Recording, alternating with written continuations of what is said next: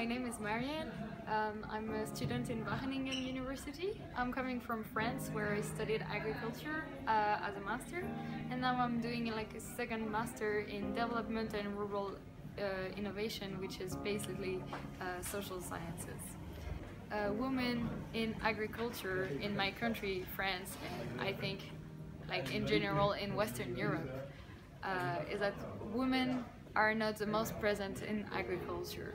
There is a, type, a kind of stereotype about agriculture that it's a man's job and that uh, it should be done by men, maybe because it's more physical or because it requires a lot of presence uh, all the time and there is still this kind of stereotype that women should take care of children so they may not have time to take care of uh, other animals or crops in the farm.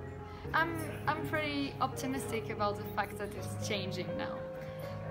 Um, my dream about the future of women in agriculture is that, I mean, I don't want more women in agriculture, but I would like all women to do whatever they want to do.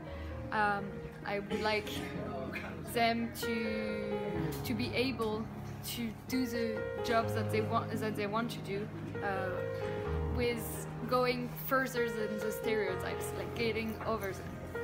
And I wish that for every every woman in the world.